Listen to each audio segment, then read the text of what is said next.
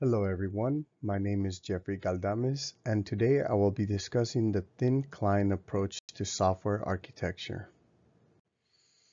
In software architecture, the debate between thin and thick client approaches has been ongoing for quite some time. So for this week's agenda, I'll be arguing in favor of thin client approach and explain the roles of server-side and client-side programming as well as the network load for this case. To start off, the primary distinction between the two clients lies in their reliance on network connectivity for data processing. Thin clients primarily rely on network connectivity for data processing and perform minimal tasks on their hardware.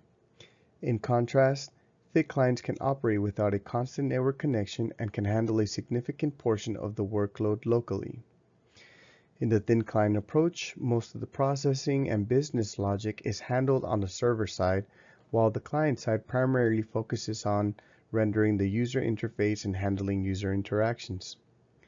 The server-side programming is responsible for most of the processing and data storage.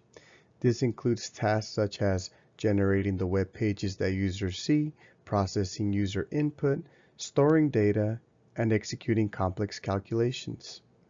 So this type of programming usually involves constant interactions with the server. While the client-side programming is responsible for a much smaller task set of tasks such as displaying the web pages, handling user interactions, rendering animations and graphics, which is easier on the user because it does not need to interact with the server overall. To further understand this, I will use Amazon as an example of how these programming sides function. On the server side, Amazon handles tasks like retrieving product details, calculating prices, and managing inventory. While on the client side, Amazon is responsible for rendering the product pages and handling user interactions through the user interface. The thin client approach has several advantages over the traditional thick client approach, where the client computer does most of the processing. These advantages include reducing network load, since the server does most of the reprocessing, the network load is much slower. This is especially important for applications that are used by many users like Amazon. Reduce hardware requirements. The client computer does not need to be as powerful as a thick client since it doesn't need to do as much processing. This makes it possible to use less expensive and less powerful computers. And lastly, it's easier to maintain. Since the server does most of the processing, it's easier to maintain the application. If there are any problems with the application, they usually are fixed on the server without having to update the client computers. One of the significant advantages of the thin client approach is its ability to reduce the network load. Since most of the processing happens on the server side, only data and lightweight user interface elements need to be transmitted over the network.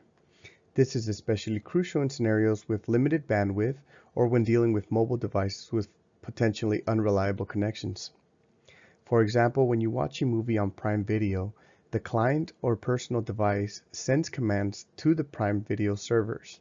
These commands are things such as play, pause, or rewind. The server then streams the video content to the client's device, ensuring a consistent and high quality viewing experience.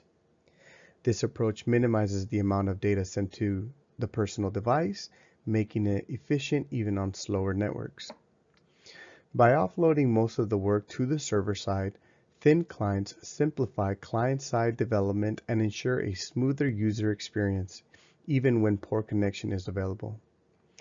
In conclusion, the thin client approach to software architecture offers a compelling solution for optimizing efficiency and reducing network load in today's digital landscape. By offloading most of the processing to the server side, we not only streamline client-side development, but also ensure a smoother user experience even in challenging network conditions. I hope you guys found this video informative and thank you for watching.